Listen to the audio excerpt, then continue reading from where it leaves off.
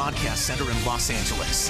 This is KCAL 9 News at 8. Now, 8 o'clock, an argument between a mother and her son takes a deadly turn as the family home burns in the background. And only on KCAL 9 tonight, pit bull panic. People in the Long Beach neighborhood are outraged they say a violent pit bull is killing their pets. Burglars have a new bullseye. Target the late night break-ins at Southland stores. We begin tonight with breaking news. An incredible sight tonight in Dallas, Texas, as dozens of police officers chased a man suspected of gunning down three people today. Two of them are police officers. This was a scene just minutes ago as a suspected shooter in a white pickup truck was spotted driving around town. We're told then that cops gave chase. He reportedly fired at them. He finally crashed on a dead end road. Then dozens of police officers swarmed that neighborhood. CBS Dallas reports the driver is the suspected shooter and he is now under arrest. And this was a scene of the shooting around five hours ago. Police say a store security officer detained a man for shoplifting and called for backup. Now, when two officers arrived, the man pulled out a gun and shot all three of them. We're told tonight the officers and that guard are in surgery tonight. People in Dallas are still in shock after five officers murdered in an ambush about two years ago. And thank you so much for joining us tonight. I'm Jeff Vaughn. Hi, everyone. I'm Susie Suh. Here at home, a strange standoff in Hacienda Heights involving a naked man. That's right. An armed man parked himself on the roof of a home and then refused to come down for hours. KCAL 9's Crystal Cruz tells us how the standoff finally came to an end. What a mess this guy left out here, tossing things onto the street. And then right up there was where all of this happened. Now, deputies say this man is a felon with priors. Here is video of the 50 year old man taking his clothes off, causing quite the scene, waving his arms around. Just a bizarre situation as sheriff's deputies arrived. Now, the call came in as shots fired by a man with a gun barricading himself inside, more like outside of the home. A second video shows deputies canine take over, lunge at the guy as he tries to use a shirt to swat the dog off of him. But then he decides it's best not to fight with this animal. A third video shows the ending to the drama, the man taken by SWAT, and now the investigation is happening. Now, neighbors were told to stay away during all of this and really had no idea what was happening. I was on the roof naked and throwing his clothes. no, we didn't see anything. Who was that guy up there? I don't know. The, that guy is crazy.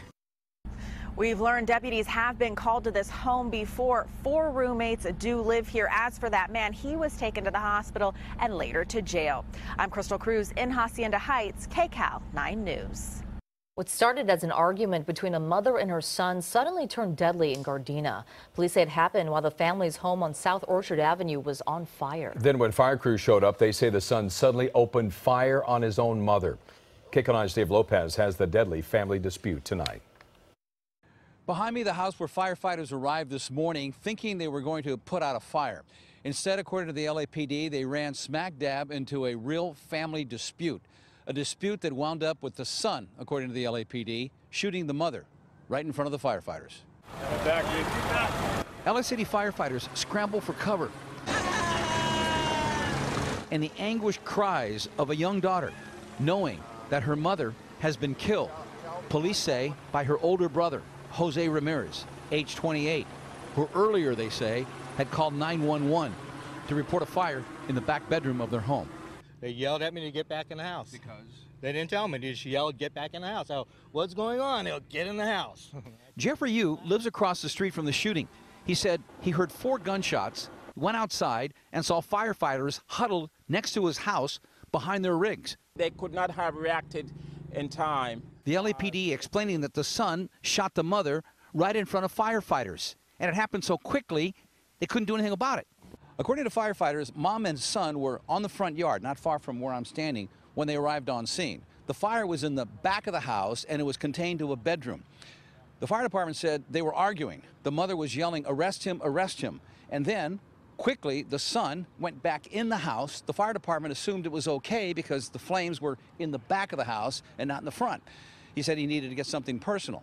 When he came out, he had a handgun with him, and then in front of the firefighters, right here, shot his mother in the head four times, and then went back in the house. All I know is the dad told me that he was trouble. I knew something wasn't right, but I didn't think it'd be like this.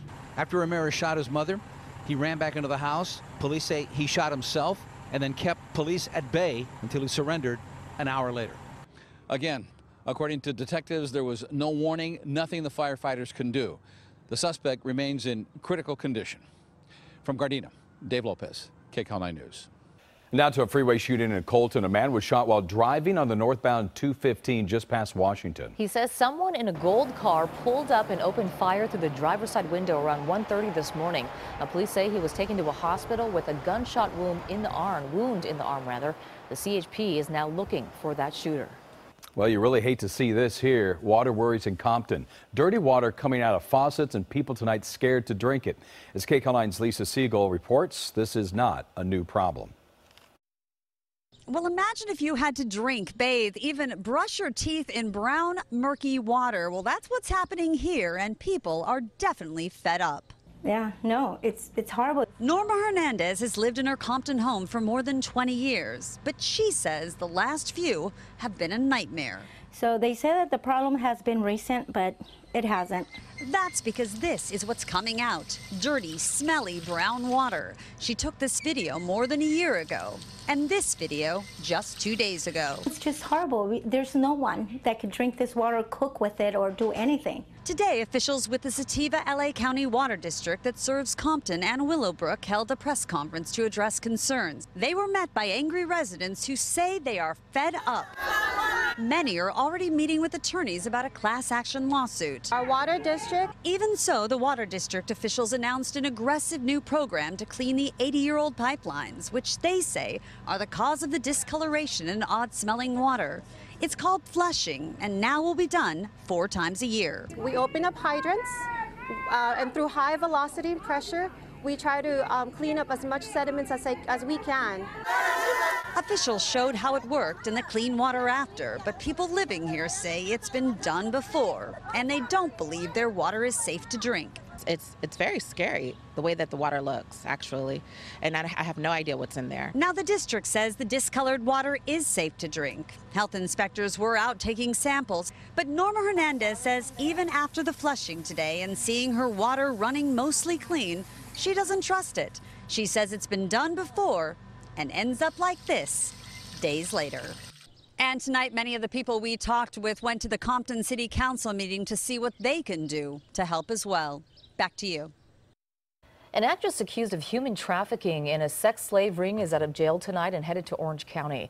Allison Mack posted $5 million bond at today's federal court hearing in Brooklyn. She's been released to serve home detention at her parents' house in Los Alamitos.